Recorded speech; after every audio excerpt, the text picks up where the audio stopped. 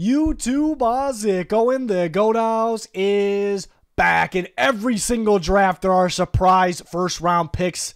In this video, we're going to try to find those potential candidates for this year's draft, some more surprising than others. And then we have landing spots if they were to go in the first round. I'm excited about this video. It's one we do every single year. Love it. A bunch of draft content on our channel and more to come. We'll be live during day one of the NFL draft. Winners, losers, grades throughout the draft. So make sure you turn notifications on. Make sure you join us on Twitter as well. You know where I'm starting. If you've been listening to me go on, you know, rants about Max Melton, you knew I was starting here. Huge Max Melton fan. Did a recent mock draft where I had him going in the first round. I had him going to the Packers, but like a lot of these landing spots for him. But I think a lot of people like Max Melton. I just love him in the first round. Uh, you know, with the elite athleticism, the elite length, out, outside, inside, press, off, man, zone versatility. Um, love his game. Love his upside. So th- this is a guy that, you know, in this video, it's potential surprise round one pick. So not guaranteeing like all these guys or even any of them are going to go in the first round, but this is one my money is on him going in the first round, which sounds really bold because no one is mocked besides me is mocking him in the first. It's just a feeling I have, you know, I kind of just just knowing what teams look for and, and, looking at his potential upside. So I like Max Melton to go in round one. It, it's uh, it's bold, uh, but that that's what I'm feeling. Like the Packers for him, they would use him outside and inside. They're trying to run a little bit more man coverage so that fits. Seems like a Brad Holmes and Lions pick uh, they're looking for another corner. Nobody has drafted more of my favorite players in the draft each year than Brad Holmes. So that's a big reason they're on here. So um, the Niners, I think, would fit with them. and be a pretty good pick for you know they could be looking for another corner. Chiefs good re- possibility of uh, replace an option to replace L'Jarius Sneed. They look for guys that can press. Just hit my mic. Uh, that can press, play man, and are very athletic. Uh, there you go. Cardinals could see him in Jonathan Gannon's defense. I could see him playing inside or out. And same with the Steelers. Uh, the Steelers, I mean, pretty early, but um, well, not really for me, but for everyone else probably. But they have actually met with Melton on multiple occasions, and sometimes that doesn't mean anything. But the Steelers are one of those teams that they typically draft guys they've met with, you know, a few times. Like they've done their homework on those guys. So I thought I had to list the Steelers. Other wild card teams, uh, the Eagles, be a little early. Uh, the Bills, perhaps, uh, those teams stood out as well. The Vikings keep their pick at 23, but these are the teams that standing out that are standing out the most. Um, for for Melton, quite a few of them met with him a few times, so interesting. Another corner. This is more of your true nickel corner, and that's Mikey Sainristil from Michigan, playmaking corner. You know, instinctive, get his get his hands on. He gets his hands on the ball quite a bit.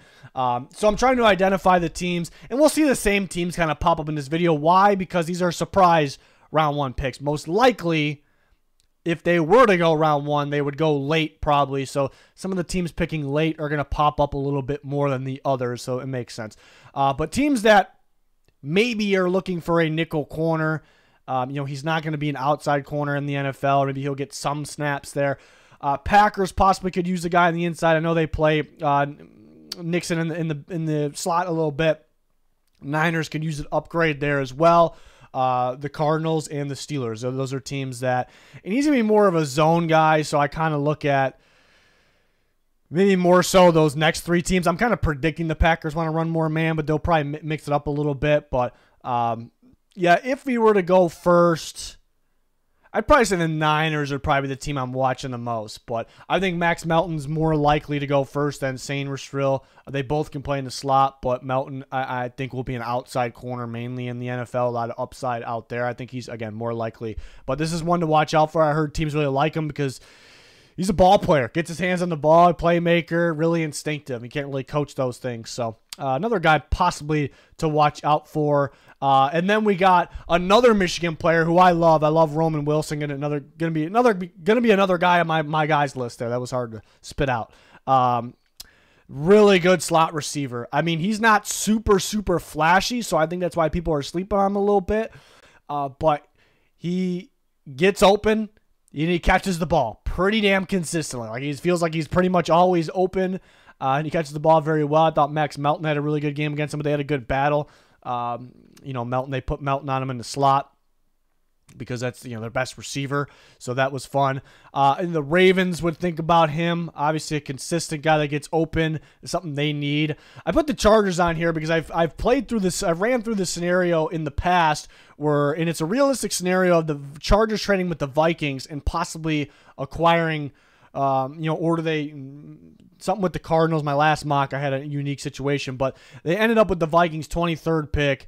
Uh, you know, and could Jim Harbaugh take his guy and they could be badly in need of a receiver there? I think it's a possibility. Uh, Chiefs could use another receiver. Uh, with the whole Rashee Rice situation, so I could see that with the last pick in the first round. And something about the Steelers, Arthur Smith's offense, they definitely need another receiver. Try to find a Diontae Johnson replacement. Um, this just feels like a Steelers type guy here. So those were the four teams. Like if if there was going to be a surprise pick of Roman Wilson the first, I wouldn't be totally against it. I like Roman Wilson.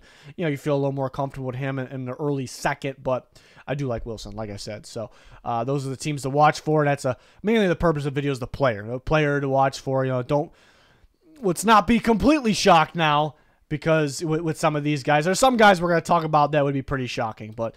Um, another receiver, Troy Franklin. This one's got a, it's got some potential. It really does because he was mocked in the first for a little bit there, but that kind of went away. Um, I guess after the combine and you know, out of all like the solid receivers in the draft, he kind of led that group in drops, had nine drops. Um, didn't face too much press when he did. It's like, uh, is he physical enough to beat the press, especially in the NFL? You know, so he gets open and, he makes home run plays. He makes big splash explosive plays. He's really fast as well. You know, so he has some big positives but some big negatives. So it's a it's a risky pick. It's a risky pick really no matter where you take him. Uh, but I think people are mixed on him. You either are in love with those positives and you really really like him, so people have him as a, like a late first round player, or people see those negatives and like those are a little alarming and they maybe have him as an early third round player. I, I don't know if there's that much in between. And maybe some people like him in the second, but um, you know, so I think there's going to be teams that would take him late first or that just wouldn't even take him in the second is what I'm saying. So only have three teams here, but I really like these teams for him. Like there's a decent shot these teams could make that surprise pick and take Troy Franklin. Bills looking for that outside receiver with speed. Uh, to kind of replace Stefon Diggs. The Ravens are all they, you know, they have a specific type. You know, they they want to get guys that can that have speed and that can separate, uh, hit those home run plays. And the Chiefs, you know, similar situation. He's pretty similar to Hollywood Brown though, so they may already have that role. It is a really good fit. Maybe to replace Marquez Valdes-Scantling, you can argue that Hollywood Brown is that guy, just outside speed, downfield receivers. They all fit that category, all of the above, every player we just mentioned. So um, it is a good fit. Maybe they feel like, but it, again, only a one year deal for Hollywood Brown. But those three teams seem like really good fits for Franklin because what they need, but what they look for as well. So that is a guy to watch. Again, pretty rangy. Late first, early third for Troy Franklin from Oregon. We, we will see. We'll see. Uh, uh, Marshawn Kneeland's another one to watch. Like, I definitely could see him sneaking in the first round. Out of the guys we've talked about, I think Max Melton's the most so far. I think Max Melton's the most likely. I think it's a battle between Kneeland and Franklin next. Um, but Kneeland there's a lot to like, you know, because this is a big physical pass rusher that's got some pretty good play on tape. But I, what he did at the combine was pretty in the Senior Bowl and the combine is pretty impressive, especially you know those agility drills at the combine. Like he those are pretty important drills, like the 20 yard shuttle and the three cone for edge rushers, like history shows. And for how big he is, he was moving very well. He had elite, actually elite numbers in those categories. So a guy that can move like that, you know, you see a lot of upside. This is an upside guy here, um, and he's physical enough to help stop the run a lot of upside getting after the quarterback. Eastern Michigan game was ridiculous, absolutely ridiculous. So the Bills are a team that take, you know, they're not afraid to take that pass rusher, but specifically like they like physical guys on uh, off their edge. So Bills are a team, like if if Kneeland, if you told me like Kneeland went in the first, like if you saw the future, Kneeland went in the first. Bills make a lot of sense. Ravens, it feels like a Jadeveon Clowney replacement here. So the Ravens, this would be tough though because the Ravens badly and they they need a pass rusher, but they I mean how desperate are they? They they have some needs. How desperate are they for offensive lineman and receiver? So the Ravens, as good as they are, they have some major needs there. So, but a good Clowney replacement. Uh, the Lions, you know, I think they would like the physicality off the edge for Kneeland. Uh, possibly like a poor man's Hutchinson at perhaps. Uh, the Niners, you know, could could use another defensive end out there. I would like Darius Robinson a little more for them if we're, if we're comparing the two. Uh, and then the Cardinals, uh, Gannon's got more of those athletic speed guys off the edge. He needs some of those physical guys, kind of like he had in, in Philly, kind of had a mixture of the two. Uh, you know, so that could be an option. But I really like the first couple there the Bills, the Ravens, maybe the Lions Eh, maybe you know maybe all of them any of them but bills and the ravens really stood out i think it would be a bills move and i think that fan base might lose their shit if one of those good receivers are on the on the board there and they take Kneeland. I you get a good player with a lot of upside and a good fit, but I I, I could picture that fan base kind of losing a little bit. That's the category you know, I, the Bills very well could try to find the Diggs replacement in this draft. Maybe they move up, maybe one falls to them. But I also see a scenario where they actually pass for a defensive player, and, and some fans maybe be a little upset. But I can definitely see it. Uh, Kneeland is definitely one to watch. Uh, yeah, I think Melton a little more likely. Uh, Kneeland's probably next. Yeah, look at Troy Franklin as well. We talked about more guys to talk about. Patrick Paul, this would be a little more surprising, I think, if we had a meter how, how surprising. I think it'd be a little bit more than the other ones, but man, I could see it. Um, there's surprise offensive linemen all the time. That's one. Of The, I think offensive tackles in or offensive linemen and edge rushers usually have some surprising guys. Um, you know, last year was a linebacker and Campbell, though a couple other guys as well. Cole Strange was a lineman a couple years ago. Um, you know, Payton Turner was an edge rusher uh, that went. There's a lot of them, you know, that happened. But Patrick Paul, the reason I have him on here is because how teams value offensive tackles, but there is a lot to like about Patrick Paul with his experience, his freakish power, his freakish length. You know how everybody loves length. They love traits. Teams want the guys with traits. They don't want you can't coach traits, obviously. They want to coach the rest. He's got good play under his belt, but combining all that, like experience, the play, it's a little inconsistent to play. But it's a guy that I'm moving up my board a little bit recently. Um, the traits ridiculous. The, the, the combination of power and length. Uh, so there are some wild things for Patrick Paul from Houston. You know that teams might go, we got to have this guy, and we're not. He's not gonna. And these teams, they pick late. They pick late in the first round. They pick late in the second round. If they have a when they have a pick, uh, you know. So if they have to absolutely have to have them, you take them late first, or they're going to trade back a little bit, perhaps. But Cowboys need a left tackle. It just feels like a. It feels like a this, a Cowboys guy that possibly try to replace Tyron Smith, which um, you know would be tough to do. But the Ravens need a tackle as well. Uh, they would probably be in the market moving him to the right, but if Stanley goes down, putting him on the left. The Chiefs need a left tackle. They're gonna love his power and length for sure. Um, try to replace. I know from a couple years ago, but Orlando Brown Jr. Um, could definitely see that. In the Niners, you know, you'd probably be a backup right away from the Niners, so that's the knock on that. But he could battle uh, for that right tackle spot. But learning from Trent Williams and being that, I mean, that's a perfect situation, and being that future left tackle is a possibility. But, uh, you know, I can see all four of these teams why they're up there, but I really can see the Chiefs and the Cowboys. I really can see those teams. And the Cowboys, I thought Mazi Smith was a surprising pick last year. Some people would disagree, but I had a late second, early third for Mazi Smith. So that was a, you know, without like that flashy backfield production, like you usually teams don't take that type of player in the first. It's just the value isn't there. So they actually surprised last year. Um, they surprised when they took Leighton Vander Esch um, with his injury concern and how early they took him. So they're they're a surprising team as well. Chiefs have had some surprising picks in the first two in the past. Everybody really has, but Cowboys and Chiefs. The more I talked about this one, I said this was very, very surprising compared to the other ones. The more I talk about it, the more I think it's you know I'm not I'm not it's it's under fifty percent of course, but I watch out for this one. People would be floored, I think, but hey, we got to prepare ourselves here.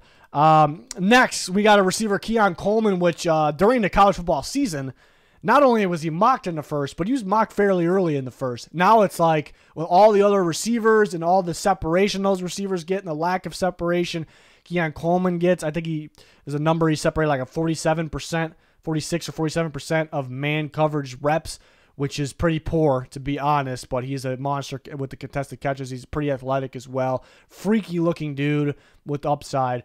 Um, but it, guys like N'Keal Harry scare me. Like got players like that. Uh, Laquan Treadwell.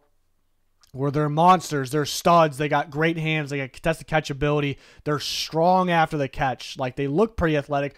They just do not separate well and they do not run all the routes as well at the NFL level. So I think teams are each year learning a little bit more and more. Like that's the type of guy you hey we really like, but you don't take a chance on that in the first round. So it's kind of like dwindled down. Like he's not going in the first, but there is a lot to like. There's a lot of wow to his game. There's a lot to like. It's you know it's a uh, again a lot of upside here still. You kind of can work with those things, try to get him more separation, but.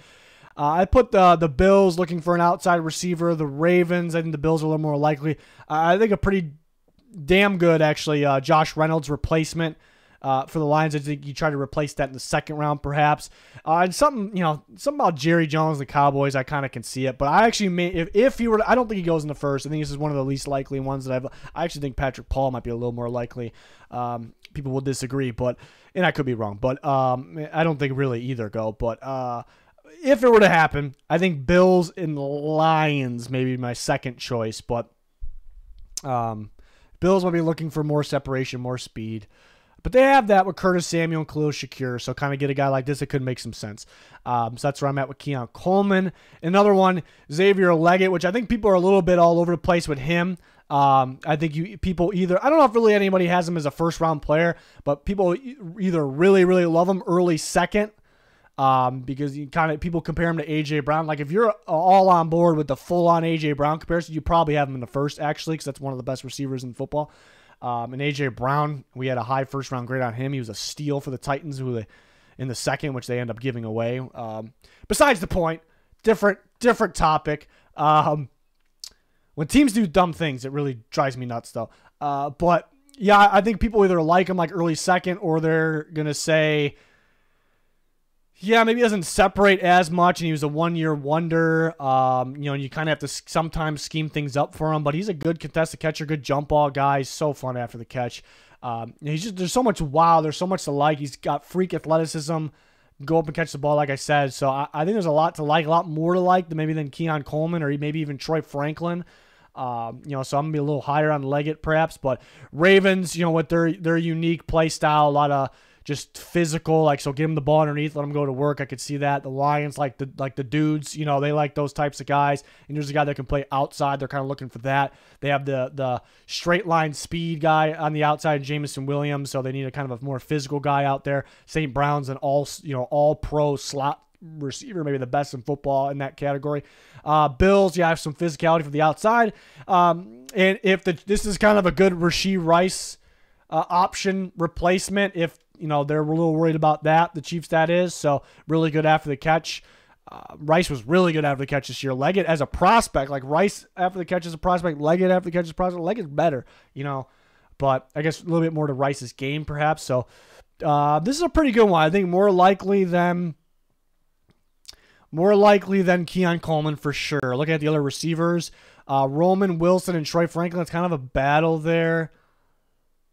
Um, I'd probably put him second, most likely after Franklin. That's really not my receiver rankings, but um, it's kind of my feeling right now. Uh, and then talk about some more guys. There's another slide after that. I mean, this would be these are guys that are super like everybody be like, what? But I kind of I can make a case, not that they should be first round picks, but that like we could see it. And one that stands out is Malachi Corley, and I would not take him in the first.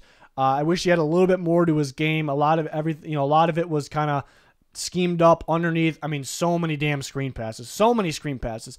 Really good at those, though. Really, really good after the catch. Really athletic. He has upside doing everything else. So maybe you could develop him into something. Kind of gets comparisons to Deebo. I mean, Deebo did that. I did it at a higher level in college, and that was while playing much, much better competition. So hard to have that full on comparison. But there's probably some teams that are just so wowed by his physicality, his after after a catchability on his athleticism. Like this guy is a legit weapon. Like you know, there's going to be teams that in this draft for Malachi Corley, like we have to have this guy. I'm like an offense coordinator is be like, I just have to get my hands on. We're gonna have so much fun. We're gonna add a little bit more to our playbook with a guy like this. So he has that uniqueness that, that is why I put him up, up here. I just think it'd be a big time reach, but I could, you know, Ravens or Chiefs, you kind of can see it, you know, maybe. Uh, more likely in the second though. Junior Colson, which Uh, a lot of people's linebacker one. I heard a lot of teams have a linebacker one great on him. So some teams have needed linebackers. Um, put and Cooper. Um, we have Edgerrin Cooper on the next slide, actually. Um, it's a little bit more realistic because his like wow, flashy ability. But uh, you know, Colson, yeah, doesn't really. He's really solid. He's really good with his reads. He kind of he's the guy that gets the job done. You know, he just doesn't have that for, for a linebacker, a non-premium position. Like you want those guys to like wow, like be like Fred Warner, wow, like super flashy, and he didn't even go near the first round. Uh, you know, so it, it's tough to take him in the first, but based on what we're hearing lately, leading up to the draft, a lot of people like Colson. Who would do it though? And the Eagles need a linebacker, but they're not going to do it up there at 22 uh, especially with their philosophy on linebackers. Uh, Packers, maybe, you know, our linebacker. Christian Haynes from UConn's another one. I like Christian Haynes. I mean, you, you look you, you look at him and you kind of you what do you think about Christian Haynes? Like big big physical blocker with good experience at right guard, um, but he is really good in outside zone, which is actually not a long list of like polished outside outside zone blockers in this draft. Even though there's a lot of good blockers in this draft, uh, and there's a lot of NFL teams that run that, obviously. And I like his blocks next level, like downfield and um, showing off some quickness. So uh, there's going to be teams that like that a lot. Like, be really good fit with the 49ers down there at 31. I, I, actually could see it. I almost put him in like the main category of this video. Um, see him fitting with the Packers. Do they take him there though? Uh, then Zach Frazier would be early because how, how early do you take a center? So it'd be pretty damn surprising.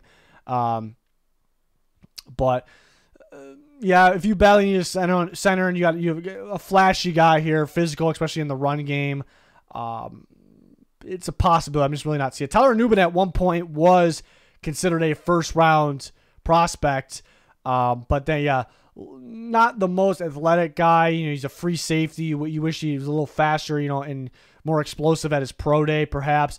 And he is the main thing, though. It's not actually that he's pretty scheme dependent, which is okay. Like he's really good at his job, like a zone coverage free safety. I think would really would be at his best in a cover four scheme. Um, but yeah, so it kind of eliminates the the teams not looking for a free safety, the teams you know that really run a lot of man coverage, or teams maybe not really sold on him being a single high type guy. So it I think the teams that would draft them all together is a really good player, but that would draft them all together isn't a super super long list. So those teams know they probably can wait for him. So he's no longer in that first round conversation. I think more so because of that. But I mean, if he did run like four fours, I think he'd be in the first round because somebody would have to have him at because he fits what they do really well. But um, yeah, so that'd be a bit of a surprise, but who knows? Um, but really, all these guys are really good players. And Adisa Isaac from Penn State explosive, scheme versatile, more productive in terms of sacks than Chop Robinson. Um, really looks the part too. Um, we know where people value the edge rush position, so it'd be pretty, no one's mocked him in the first. It'd be very very surprising. Not really a huge name, but he could be the best of the second round guys perhaps. Um, but give it a small percentage chance. So these guys kind of got all these guys got some unique talent or unique level to them where again I could see a, a small percentage here. And here's some guys that I, I, think would surprise some people.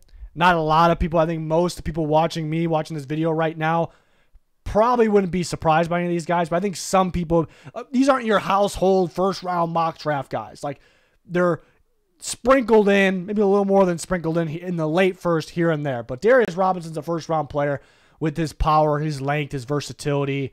People mock him in the first, especially after the Senior Bowl. So I think it would surprise some people because some people are like, yeah, you do worry about the closing speed. It's definitely an issue.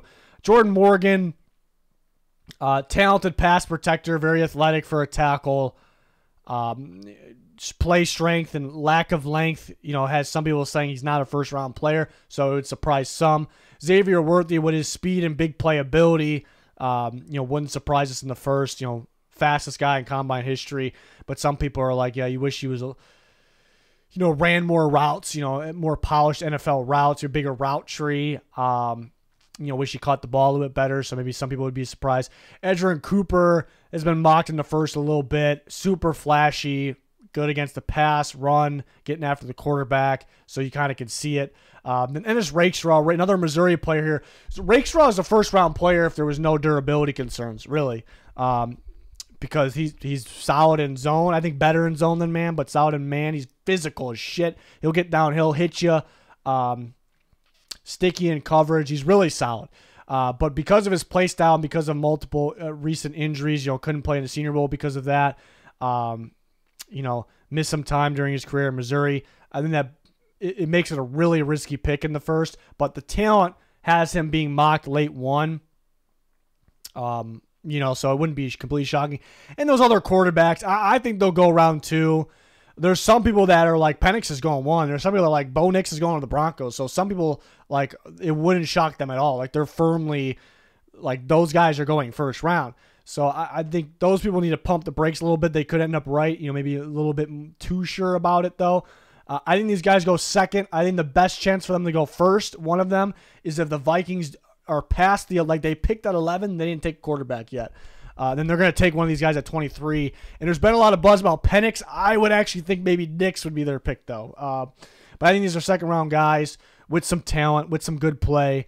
Um, and there's there's moments in their game where like that that's first round, especially Penix. I like the first round talented guy, but uh, I think yeah, I think it's kind of mixed. People are like those guys are going first, and some people are like they're they're they're going second. So it would surprise some people there. Um, so yeah, the Vikings, I guess, are the team to watch for with those guys. Rakestraw, I, I would say uh, the Lions stand out. Niners, maybe Edgerrin Cooper, the Packers, Xavier Worthy. I like the fit with the Jags. That's that's early. It's like the fit. Um, but the Chiefs, Ravens, Bills, perhaps. Uh, Jordan Morgan, I like with the Chiefs. I like with the Chiefs a lot. Um, there, there's some other teams that mm, I'm trying to think. I don't know if the Ravens would do it. They need an offensive lineman. It just doesn't really seem like a great fit. Uh, there's a few other teams back there. Really got to think about it. But yeah, I think he can go late first. Darius Robinson, uh, Niners and Lions. It's funny because I mentioned Niners and Lions for the, for the other Missouri guy who's a different position as well. So, uh, but that's kind of where I'm feeling with, with guys like that. Robinson I think he's a good one for this video because I don't think it would surprise a lot if he went first at all. That's why he's on this list. But that's actually a guy that could go a lot earlier than you think. Like it wouldn't actually shock me if he went like way earlier than he's being mocked, like the middle of the first, because there's a lot to like about him. Like, like he's got some dominant, dominant moments, and it's a guy you just really want to work with. So I can see that from teams, and everyone loves the length. You know, he's got that length. Uh, but that'll wrap it up for this video. Re- I really enjoy this video do it every year. I think we kind of upgraded how the video, the format of the video was this year too. Uh, let me know your thoughts. If you have any other players that you want to mention that I did not mention in the comments or on Twitter, we're always talking to you guys. Love to see it. You know, uh, check out our sponsors, GLD Shop Liquid IV, code GOAT for a percentage off. Very important to turn notifications on here and then to follow us on Twitter with notifications too at this time of the year. It's going to do it. Thanks for watching. Goodbye.